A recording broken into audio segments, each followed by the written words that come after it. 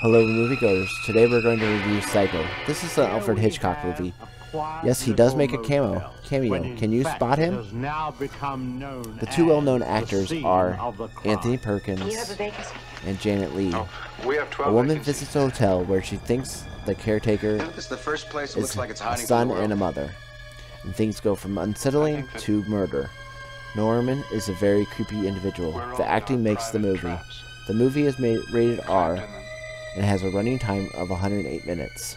Family review this de- is dealing very heavily in murder, and there is sexual innuendos basically at the beginning of the movie, which are considered timid nowadays. But there is a man kissing a woman with no shirt on, and the woman's wearing a nightgown.